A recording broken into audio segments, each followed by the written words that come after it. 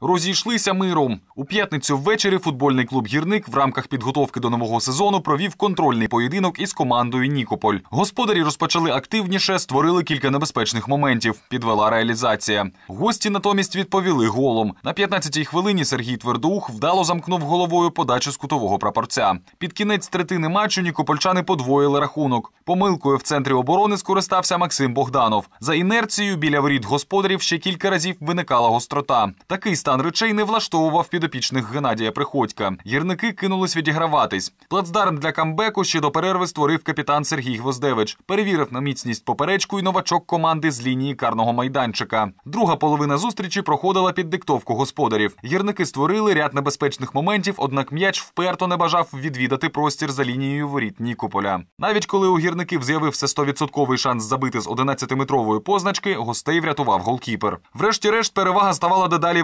вагомішою, і наприкінці зустрічі підопічні Геннадія Приходька відігрались. На 85-му оберті секундної стрілки Андрій Григорик технічно в дотик пробив після класного переведення Ігоря Буки з правого флангу 2-2. Таким рахунок залишався до фінального свистка. У підсумку бойова нічия. Денис Пляц цей день спорт.